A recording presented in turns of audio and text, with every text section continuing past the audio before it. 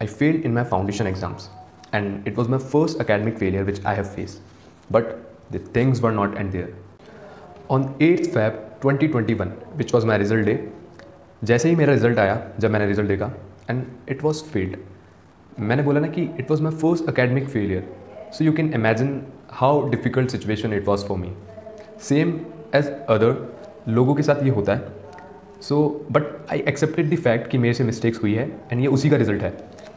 And I cried lot for a day आठ तारीख को मेरे लिए बहुत ही मतलब मैं बोलूँगा कि बहुत ज़्यादा बुरा दिन मैंने सफ़र किया था। But subsequently without much waiting for the right time on ninth on 9th Feb 2021, which was the next day after my result, I decided to set back my routine again for my next attempt, which was in the month of June just because of COVID. मैंने मेरे result के next day से ही मेरी preparation start कर दी for again giving my second attempt of C A foundation exams मैंने बोला कि देखेंगे भाई जो होगा।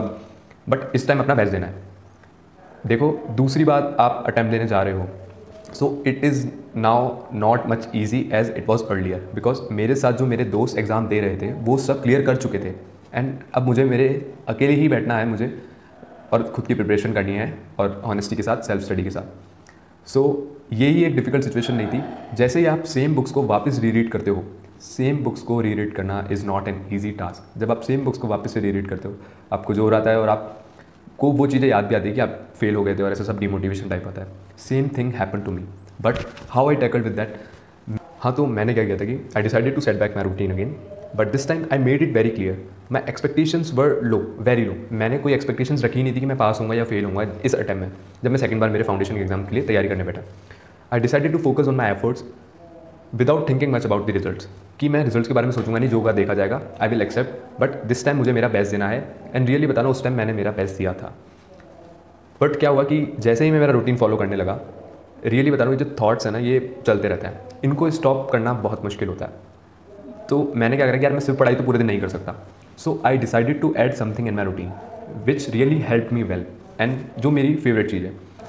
So I decided to join gymnastics class for the three months before my exams जो कि मेरे एग्ज़ाम से पहले ख़त्म हो जाती और फिर मेरे को एक मंथ का गैप मिल जाता तो मैं उसमें आराम से पढ़ता, उसमें मैं क्लास वगैरह नहीं जाता। And it really help me to gain more physical and mental strength as well and it really help me to follow my routine as well मैंने क्या करा था, जो मेरी क्लास ज्वाइन करी थी, वो मैंने सुबह मॉर्निंग सिक्स टू एट की रखी थी।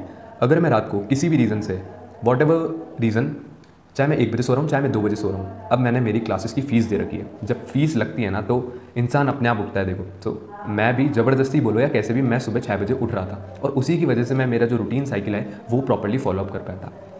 ज़रूरी नहीं है कि आप कोई कुछ कर लो बट आप अपने रूटीन में जैसे मेरे बहुत ज़्यादा बोर्डम हो गया था कि मैं नहीं पढ़ पा रहा था अकेले वापस से तो मैंने वो चीज़ ऐड ऑन कर ली थी।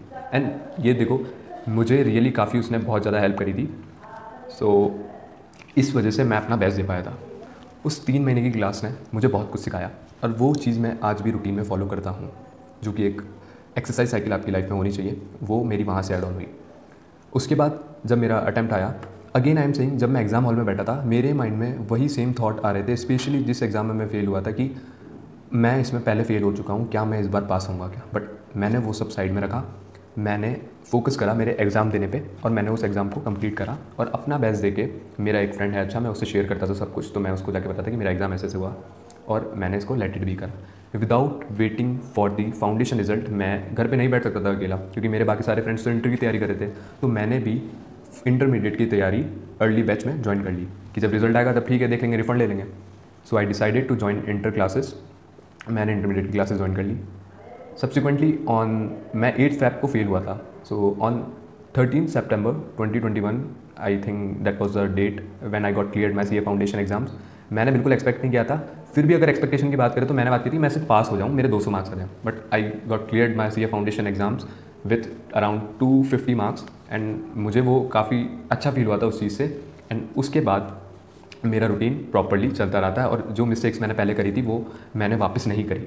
और thank you so much for watching I hope this video will going to really help अगर किसी का पहले कोई टाइम लग चुका है और उसको ऐसे सब थॉट्स आ रहे हैं मैं अपना रूटीन नहीं बिठा पा रहा है सो so, मैं यही बोलना चाहूँगा कि भूल जाओ जो हो चुका।